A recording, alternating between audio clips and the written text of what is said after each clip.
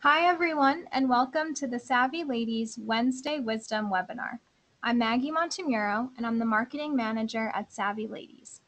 I would like to remind you that if you have any questions during the webinar, you can type them into the chat box. If you're joining us by phone, email your question to info at savvyladies.org. Today's presenter is Diane Pollack, founder of Style and Power, a wardrobe consulting and personal shopping service for women in New York City. Diane has over 20 years of experience as a clothing designer. Diane is focused on helping busy women achieve an organized closet and empowered wardrobe. She believes that feeling confident in your clothing is empowering internally and radiates outward. Thanks for joining us today, Diane, and I'll hand it over to you. Great. Hello. Okay. So, how many of you open your closet and actually have something to wear? So, I know I can't see a show of hands, but I know that it's a common problem. Even if we have a wardrobe full of clothing, some days you just can't figure it out. Maybe your closet is jumbled full of items. And then to complicate things more, it depends on your mood, the weather, and what you're doing that day. So, if you're overwhelmed in your closet, not sure what is appropriate for various occasions, need help accessorizing and styling outfits, or need some tools and tips to help feel in your, empowered in your wardrobe, then this lecture is for you. Take a minute and remember a time when you felt absolutely great in your outfit, in your look, what you were wearing. Perhaps it was a wedding, a special occasion. Perhaps you chose this special dress and bought the exact matching shoes, chose the right accessories, took extra time with your makeup and your hair, or perhaps you even went out to a hair salon and had it done. Even the concept of walking out of a hair salon and knowing that your hair looks so fabulous unfortunately maybe you can't replicate it yourself but you know what is that feeling that you felt on that special occasion or when you walked out of the hair salon empowered confident sexy maybe all of the above maybe you have your own word but whatever it is it's this positive inspirational feeling and really, you don't want to just feel that way on a special occasion. Uh, you want to feel that way on a regular basis. So, let me tell you about the first time that I felt that way. I was about 12 years old, and I got my first pair of designer jeans, which were really hot then. And I put on my jeans and I chose the perfect top to wear. And I went to this sculpture garden with my family and I was posing like a model. And I felt so cool and so whatever positive word that your 12 year old self wants to feel. I felt that way that day. And I made a promise to myself. I said, you know what? I love the way this makes me feel. I am really going to take special care in thinking about what I wear every day so that I can feel this way. And so I, have actually kept that promise to myself. Now, fast forward. I'm in a client's closet and she takes out this leopard raincoat and she says to me, This raincoat makes me feel like a million bucks. And I said to her, Well, how often do you wear it? And she said, Not very often. And I said, Well, don't you want to feel like a million bucks all the time or at least on a regular basis? So you want to create a wardrobe full of clothing that makes you feel that way. Now, I know fashion can be perceived as superficial, but it can also be really empowering. It can make you feel confident. You can carry yourself in a certain way. You probably hold your shoulders back with your chest out, and you sort of radiate this confidence out. And other people are going to catch on to your vibe and your energy, and they're going to perceive you that way. And the good news is you get to choose how you want to present yourself how you want to show up. So this is really key to being successful. So let me tell you a little bit about myself. I help women feel confident and empowered in their dress. You can walk into a room and feel confident, and everyone in the room is going to feel that way. So, a little bit about my background. I had a past career as a clothing designer. But actually wait let me let me backtrack a little bit actually. We talked about how my 12 year old self um, felt empowered. And actually growing up all through growing up i was uh, very fortunate to be creative. I'm still creative and i still do this stuff. But i always made my own uh, clothing and jewelry. Well, I tweaked my clothing. I cut it, I dyed it, I added trim, I updated it, I made it look better, whatever I did. So I was always playing with my clothing. And then this led to my career as the clothing designer. And as a clothing designer, I, I learned all about fabric, fit, and construction. And I also learned uh, something really important, how to dress women and help women feel good of various sizes, styles, and budgets. So it wasn't about my personal taste, but about helping them look their best. So a little later on, I am going to share with you five tips to creating your best style. And if you stay till the end, I'm also going to give you a free gift. So stay on. Okay, now let's talk about dressing for success. Because what does that mean? What is appropriate? And does your wardrobe sp spell success? What does success look like to you? So it used to be that most offices where people mostly worked as opposed to the laptop these days were very formal and professional. So it was a little bit easier. You were wearing a pinstripe suit, a dark suit, a sheath dress, something very formal and considered work attire. But now, many industries are a much more relaxed attire, which gives you more opportunities to wear a variety of clothing, but it can also be a little bit overwhelming. The good news here is you get to choose your personal style and what makes you feel your best. Just make sure it is always appropriate for your environment and the people you're meeting with, and never ever show up sloppy. So, there's different types of work environments these days. So, if you work in an office, there's a corporate culture in the office. You can look around, you can see what other people are wearing it's rarely just one thing unless it is a super professional office. There's usually a range of what's appropriate. So if you find your personal style, as long as you stay within that range, you're okay. So that's actually a little bit easier. Some people who work from home might have a great span of the type of clothing that they wear. They can go from meetings that are, are casual coffee dates to more corporate events. So the first question you have to ask yourself is who are you meeting with? What kind of environment are they coming from? And what you need to do is mirror the level of formalness of that environment. So for instance, doesn't mean for me, I am a very creative individual. I am not a classic individual. So if I'm going to a corporate event or meeting uh, or have a client who's a lawyer or comes from a formal environment, it doesn't mean that I have to wear a classic pinstripe suit. But mirroring their label, level of formalness does mean perhaps I'm still wearing a blazer, but my blazer might have an interesting cut. It might have interesting zipper details. I could perhaps wear leather pants with that, but I'm going to make sure that my look is very polished and still formal. It just may be a funkier version of what they're wearing.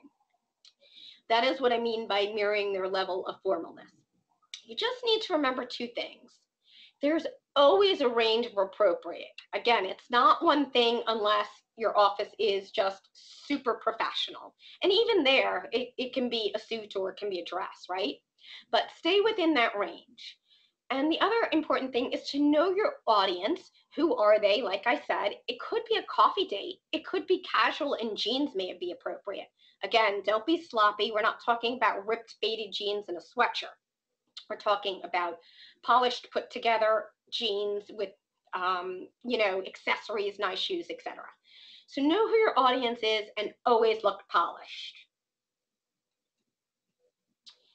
So whether you like it or not, you're always being judged. And I want to tell you a story about a temple director. This is a woman who came from the suburbs as a temple director, and she interviewed for a very elite temple in New York City. And they're much more formal, upscale, corporate, whatever the words are. And I'm going to venture a guess that if she were competing against somebody and they were neck and neck, the other candidate would have won out. Because according to the people that interviewed her, she was not really dressed to the part. She didn't look up to snuff. So this is where they contacted me. Fortunately, they liked her. They liked her skills and abilities. They just decided when hiring her that she had to pick up her level of appropriateness for this particular position. So it is really important on how you look and how you present yourself. Now I'm going to talk about dressing for your authentic self If you look at these two pictures of me, if anybody knows me, I am, it's very easy for them to pick out that I am 100% the curly haired girl on the right. This is who I am. And although I love trends, this is something that I have held fast to through all the Japanese hair straightenings, blowouts, etc. Having curly hair has always been my identity and who I am. So last winter, it was about eight degrees out. I know that most of, most of us in the Northeast can really relate to that, having last week's weather. I left the hair salon. Usually I leave with dripping wet head. And I said, well, I guess I should have my hair dried. And they offered me a blowout, and I said, okay. So I left the hair salon, and the owner of the salon, who does celebrities, complimented me. I got home my husband complimented me. Of course, he's coming home to a new wife. And many people throughout the week who knew me complimented me, made comments or something. You had to, knowing me. So throughout the whole week that I had this blowout, I looked in the mirror and I just said, I don't get it. I don't feel beautiful. And guess what? If I don't feel beautiful, it doesn't matter how many compliments I get because I'm not carrying myself in that empowered way with my shoulders head back, held back and, and that air of confidence. So you got to feel empowered. It's got to be your authentic self. And for me, blowouts are not. They look fabulous on plenty of other women, but they're just not me. The second story of authentic self is similar, but a little bit different. So as mentioned, I was a clothing designer and the fun part was that I used to get to bring home all types of samples. So I would keep some for myself. I would give them to my mom, to friends, whoever I thought they were appropriate. So I was going through my, my mother's closet with her and she had this red blazer with some sequins in the fabric and it no longer fit her. So I tried it on and it looked great on me and I decided to take it home. I wore it out to an event. I styled it with items that were my personal style, and I left for the event. I knew I looked good. I went to the event and I got a ton of compliments on the jacket. But guess what? When I left that event, I knew that that jacket was going away. And why? Because here's a story where not only did I get the compliments, I also knew I looked good in it. But I also knew that the jacket was not my personal style. It was a little bit more classic than I am. And it just it just didn't feel like me. So again, even if other people compliment you, you know, it's really got to be your authentic self to really, really feel empowered in it. Now, I know fashion can be intimidating and it changes so quickly. And sometimes it feels like it's hard to, to stay on top of and, and keep up with. I also know that people think you have to spend a lot of money to look good. And this simply is not true. You can go from what I like to call my little tag thing is fine to fab with just a few simple tips. And here is where I'm going to share with you those tips. My first tip number one is tailoring. So we all have different body types. We're all bigger in certain areas and smaller in different areas. So most clothing is not custom made for you and it comes off the rack as it does. So if you've found a designer that you love that fits you well, that's that's very fortunate. But as there's a variety of brands out there and we all don't have a go-to designer, you often will need to have items tailored. So I want to point out in this picture, in the first picture, she looks very straight up and down. But this woman actually has a beautiful hourglass figure. Now I know she's standing a little bit sideways and she's got her hands on her hips, but we nipped in this dress at the waist a little bit to show off her, her hourglass figure. And that made it so much more flattering. The other thing we did is look at the length, look at the hem in the first picture as opposed to the second, just by taking it up a little bit. Her legs are so much more sexy. Her whole look is so much better. So a nip and a tuck here, an inch or so here or there, can really take an outfit from looking fine to fabulous. It can make it um, look better, flatter your figure more. It can make it look more expensive. This is especially true. Petites really need to um, have a good tailor and, and, and be able to take things to the tailor on a regular basis because they are much harder to fit. The important thing to remember when buying clothing, I know that we sometimes tend to be vain about sizing, is that you always need to buy for the largest part of your body. The rest can be tailored and then it can look like it is made to fit you. But if you have something pulling and dragging and creasing, there is no way to fix that. And you could have a fabulous item and it's just not going to look great because it is too small in a certain area. So please don't be vain and buy the size that fits the largest part of your body. Another tip is that sometimes we don't have all the right things with us in the store. So although it might be, you know, take a little extra effort to return things, I do recommend if you're not sure about an item, this is especially true for you know, a more formal dress or something, sometimes you need to bring the item home and really assess it with the right shoes, the right bra, whatever it needs that you don't have with you, and then make the decision there.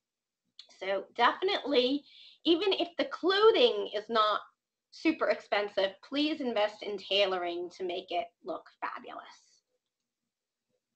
The next tip, number two, is what looks good on you. Do you have items of clothing that you know feel good and you and you always get compliments on?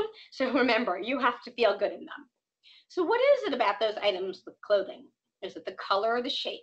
Think about, you know, at least one of your favorite items. So for me here in this picture, I love how I look in this bright yellow color. So I know that this yellow color makes me look great. Now, I don't want to create a wardrobe full of bright yellow blouses. That would be really redundant. But perhaps there's a sweater or a dress or something else in this bright yellow color.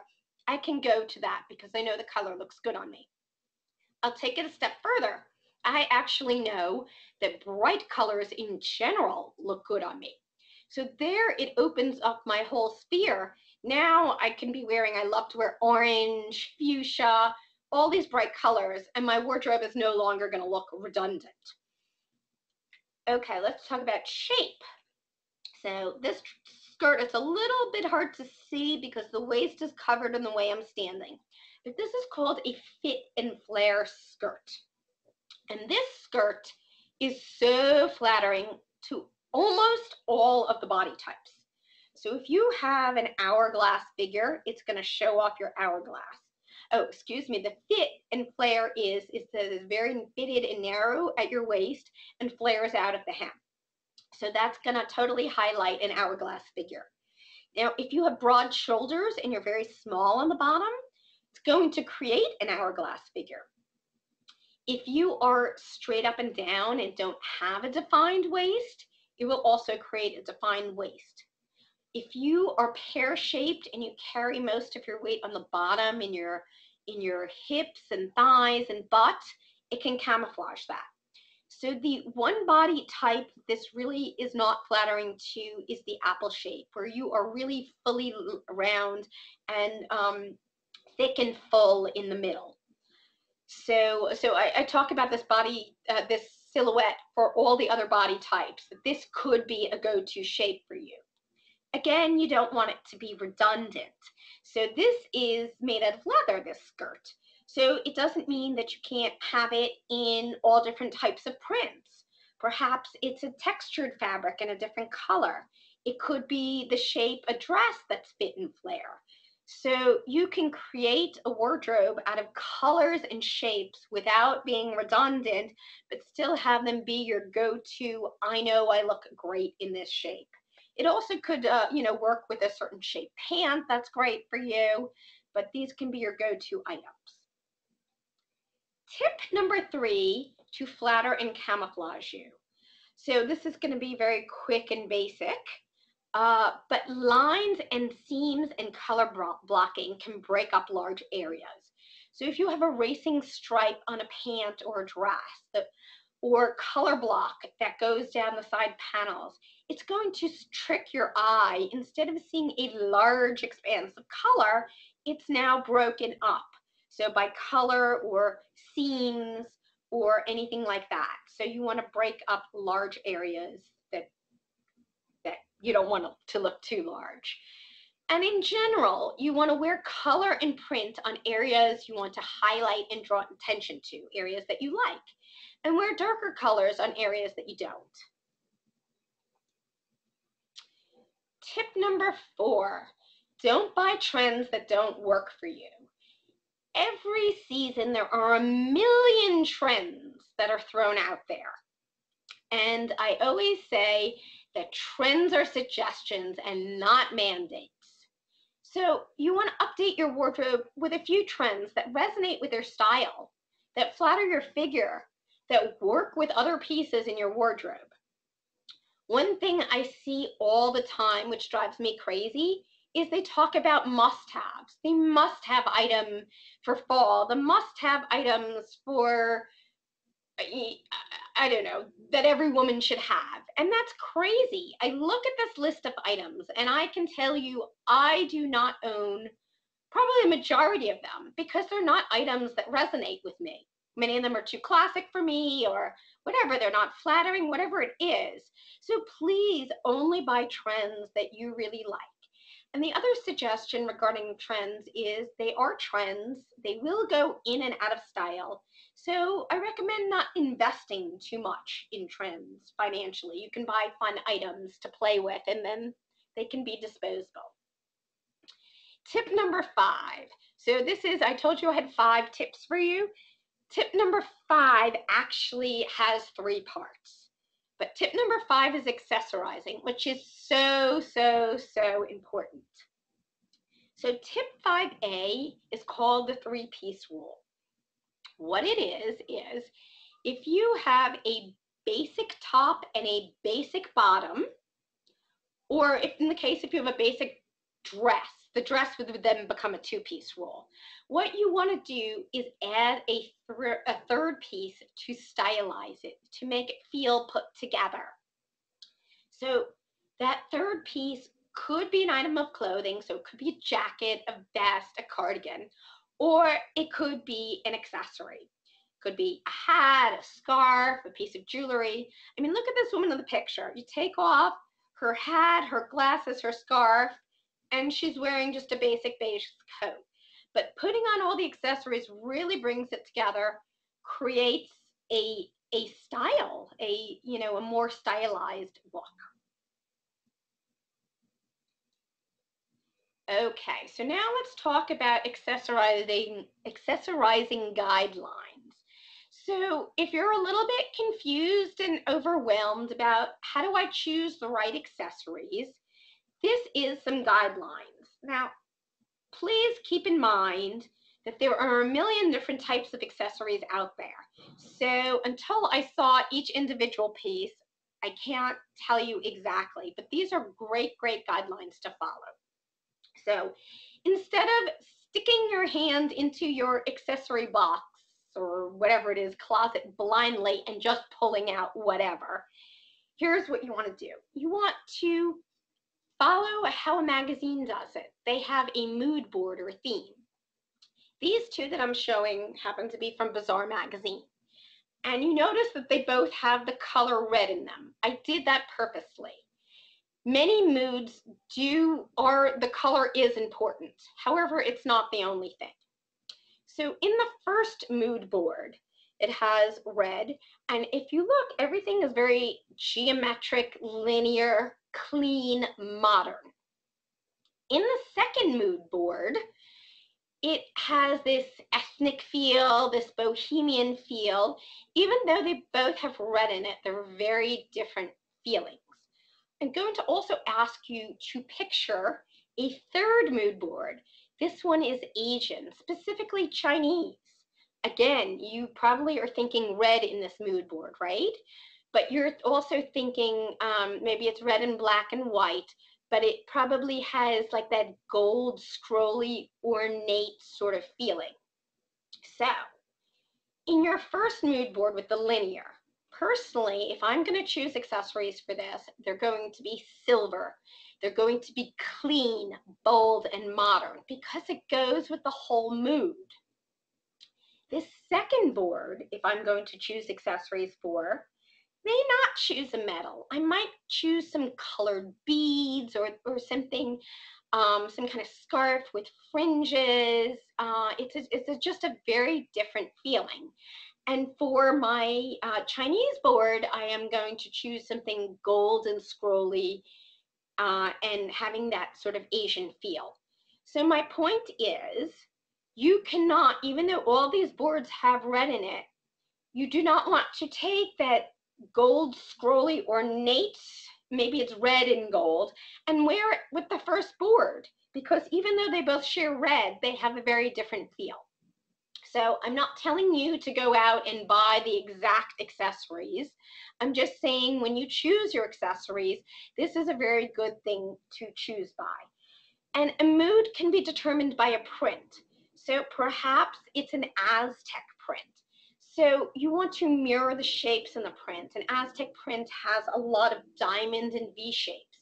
So perhaps your jewelry might have these diamonds and V shapes. Perhaps the mood is a very specific piece of clothing. So say it's a safari jacket. So here, I don't think you're going to choose red to go back to the safari jacket. So here, color is important. You are going to choose maybe earthy type of feeling colors. And your accessories are going to be very organic. Maybe they're wood, they're very earthy feeling. So go by that that mood and, and mirror the shapes. Now, you may have, um, as we talked about from the three-piece rule, very plain and simple. Not everything has a mood. And therefore, go ahead, be my guest, put whatever accessories. But prints help to define a mood, and so does um, a specific theme such as a safari jacket or an Asian kimono blouse or something like that. Okay. 5C. Okay, so don't over accessorize. So, a general guideline, and like I said, many things, there's so many different accessories out there that until I see them, I can't say 100%. But a general guideline is that like items can be stacked. So you've seen an armful of stacked bracelets, you've seen rings that stack, you've seen necklaces that stack. So those are okay. But be careful about drawing too much attention to one area. So for instance, if you have a big bold necklace and big bold earrings and perhaps you wear glasses, that's just too much attention in one area. If you have a big bold belt like this woman is wearing in the picture, and you have this long pendant necklace that's going to hit close to your waist, that's too much attention in one area. So a statement piece is called a statement piece because it is make it the statement. Don't over accessorize and over embellish. Uh, have that be the focal point. And um, then stacked items are, are usually more delicate items. So those are my five tips for you ladies. But wait, I have a bonus. And not everything is going to work for everybody, I always say, but to instantly feel empowered, hopefully you can choose one of these things. So put on a bold colored lipstick. Or for you, maybe you're not quite that bold, but maybe it's a lipstick as opposed to a, a nude colored lipstick. Put on heels, you'll carry yourself in an empowered way. Or put on perfume. So two seconds and you can instantly, instantly feel empowered. So ladies, uh, before we get into Q&A, I want to thank you so much for listening to me here. And as a special thank you for everyone for joining me today, I'd love to offer you a gift. What you will need to do is email me, Diane at styleempower.com. That's D I A N E at S T Y L E M as in Mary P O W E R, and it's written right down there at the bottom of your screen, Diane at styleempower.com, and write in the subject free gift. And I will send you nine dressing tips to flatter your figure. So that concludes my speech, and I would be thrilled to help you with any questions you might have. Thanks, Diane. I want to remind everyone that if you have any questions, you can type them into the chat box here, or you can email info at savvyladies.org. The first question we had come in is, my work wardrobe is very different from my weekend wardrobe. I wish I could find pieces that could be both casual and work appropriate, depending on if they're dressed up or dressed down. But does anything like that exist? It sure does. And I would say a key there really is how you accessorize it too. So perhaps on the weekend you could wear, you know, I mean, there's a million kinds of black pants, let's say, which is just a good basic. So maybe on the weekend you wear it with flats. And then to work, you wear it with heels. Again, I don't know if you wear heels and all these different things, but these are just types of suggestions on how you can wear things. Perhaps to work, you put on a big, bold, great piece of accessory that maybe is gold and dressier. And on the weekends, uh, you know, maybe it's uh, some kind of casual scarf with tassels. Again, I don't know if you wear any of these things, but it's about accessorizing basic pieces and really taking them. Um, maybe a blazer you could wear with jeans on the weekend and then wear it to work. So wearing back to what are you wearing it back to and how are you accessorizing it? And of course, if I saw the specifics in your wardrobe, I could help you a little bit more, but that's a good, good, good start. Okay, great. Thanks. Another question here is, do you have any tips for disguising post-baby belly when buying professional clothing? Yes. So anything that sort of doesn't cling to your body, but sort of drapes over it. So some of it sort of has, I hope you know what I mean by drapes, um, sort of hangs loosely and it's probably has, um, oh, it's a little bit hard to describe um, without a picture.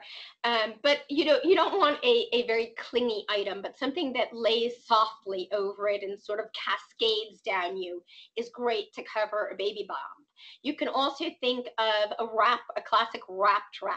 Not only will that accommodate the before and the after sizes, um, but you can sort of um, hopefully, you know, a lot of those things that wrap like that will sort of scrunch and not lay 100% flat and not cling as much. So uh, yeah, anything that drapes over. Uh, looser, full, I would wear looser, fuller tops with skinnier bottoms so the tops are not tight and clingy. So uh, again, that's uh, some good suggestions without having some great visuals or, or actual examples in front of you. Okay, thanks. Another question that came in is about trends and wanting to know how do you know when the trend that you've just gotten into is over and you should stop accessorizing with that trend? Hmm. That's a really good question. Um, I would guess if you found the trend originally, of course, it depends if you found the trend in the beginning or later on. I would say, however you found it, what is your go-to resource? Did you read about it? Did a friend tell you about it? Did you see it in the store? I guess I would use that resource because many people find out about trends in many different ways. Um, to, to go to that same resource where you found it to sort of see is there a next thing. I will warn you, I have often seen in many of the big major fashion magazines that they try to promote a new trend and they'll say trend number X is in and trend number Y is out. And guess what? On the next page, there's an advertisement from a big designer with trend number Y that they just said is out. Like, for instance, I've been hearing for a long, long time, oh, skinny jeans are out. So they're trying to promote, and there are all different types of wide leg pants, loose flowy pants, and jeans, and all of that stuff. So they keep trying to promote it. But the truth of the matter is that skinny jeans are still in. If you go into every store, every store still has them. You still see them on the celebrities. So, you know, maybe it's the celebrities that you follow for these trends. Um, so it's a little bit of a tricky question. Uh, and again, I, I guess I would just go back to your go-to resource wherever you found it and, and, and see if that helps. Okay, thank you. And do you have time for one last question? I sure do. okay, the question is I'm petite, but I want to try the midi length skirt. Mm-hmm. So, what can I do to not get overpowered by this long skirt? And can you just talk again about the uh, skirts that are best for each body shape? Okay, well, I, I, body shape is an entire conversation of its own. And the reason that I pointed it out in the skirt was because this was such a good shape for the majority of body types. So I thought it was worthwhile to talk about but that's an entire conversation. So let me get back to the original question. With the midi, hopefully you can wear heels. Heels are going to help um, if you're petite with proportions. If you have a hard time wearing a big heel, at least go for a small, a kitten heel, a block heel. Uh, platform heels are very helpful because they actually don't give as much angle, but hopefully um, you can wear a heel with the midi skirt. And the other thing, which is always a good rule for proportion, if you're going big and full on the bottom, you want to go thin on top. So you're going to wear it back to uh, a clingy knit sweater, you know, a tight turtleneck or something. You don't want to wear a big voluminous top and then a big voluminous bottom. So keep proportions in mind always for everyone, but especially when you're petite and definitely try to wear heels also to help balance that out. Okay. Well, I think we're about out of time. So I want to thank you again, Diane, for a really fun and helpful presentation. And I want to thank everyone who joined us today. We hope that you'll join us again for future webinars. And thank you again so much, Diane. Thank you. Bye-bye. Bye-bye.